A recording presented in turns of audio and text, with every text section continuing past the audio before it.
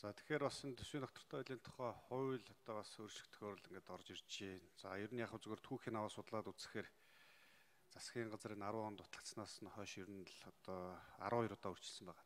Тэгэхээр би ер нь зарчмын хувьд бол ер нь бид нар энэ төсвийн доктортой байдлынхаа хууль заасан тусгай шаардлагууд за дээрээс нь энэ тавигдсан энэ шалгуур үзүүлэлтүүч гэдэг юм уу суурь зарчим энэ төсвийн тухай хуулийн дээр төсвийн доктортой байдлын тухай хуулийн дээр заасан энэ тоонуудаа бол ер нь байнга өөрчлөлт авах бол буруу гэж хараад байгаа. Төсвийн доктортой байдлын тухай хууль бол ер нь бол энэ Монгол улсын төсвийн энэ алдагдлыг нь гадаад өр зээлийг нь бол нэг тодорхой хэмжээнд барих, энийг нь бууруулах, болж игэл цаашдаа Монгол улсын төсвийг эерэг болгох л ерөөсөө чиглэсэн үндсэн зарчимт.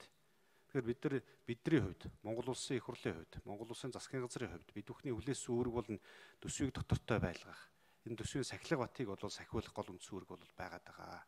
Тэгэхээр энэ өөрөө засгийн газраас байн байн хуулийг өөрчилж энэ суурь зарчмуудыг алдагдуулж үйлчлэлийг нь хойшлуулж байгаа асуудал бол ерөөсөө энэний эсрэг анхныхан суурь зарчим энэ бодлогыг нь алдагдуулж байгаа л ийм л алхам болоод байна. Тэгэхээр яг би энэ коронавигийн нөхцөл байдлыг бол ойлгож байна.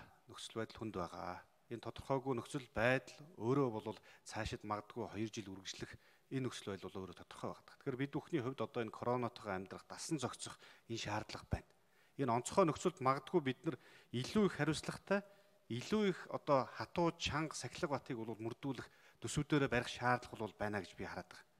Тэгэхээр одоо бол бүгдөө ерөөсөө энэ төсвийнхээ энэ доктортой байдлынхаа хуулийн үйлчлэлийг хойшлуулахгүйгээр илүү одоо юу гэдэг төсөв эдийн засгийн том реформыг бол хийх цагт болжээ. Энэ зардлаа танах, эрүүл мэндийн салбараас бусад салбарууд дээр ерөөсөө хийгдэж байгаа энэ хөрөнгө оруулалт зардлуудаа ер нь болох, энэ аж ахуйн нэгж хувийн хвшлийнхныгаа дэмжих, төрийнхөө оролцоог багасгах Тэр дундаа энэ уулуурхаан салбар болоод бусад энэ салбарууд дээр төрийн компаниудыг хувийн хвшлийнхний хийчих ажлыг хийлэгдэх байдлуудыг бол дасан зогсоох би бол шаардлага байна гэж хараад байгаа. Илүү бид нар одоо эдийн засгаа либералчлах гэдэг юм уу хөдөө аж ахуй уулуурхаан салбараа нэг зөв замаар нь эдийн засгийн эргэлтэнд оруулах шаардлага байгаа тань да. Тэгэхээр ер нь энийг одоо бид нар энэ хуулийн маань анх гаргасан суурь зочин маань бол ингээд өөрчлөлт байх юм бол энэ үйлчлэгийг ингээд байх юм бол цаашид энэ төсөв маань байнгын л алдагталтай байна гэсэн үг.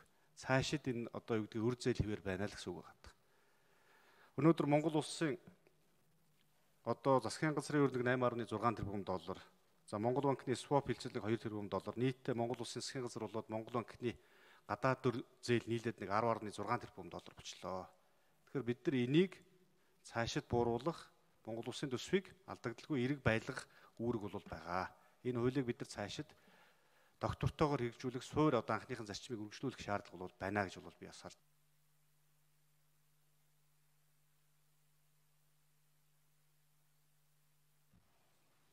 За одоо эрхэм гишүүн Дархан авраг Бадмаа Нимбугийн Бат Эрдэнэ үг хэлнэ.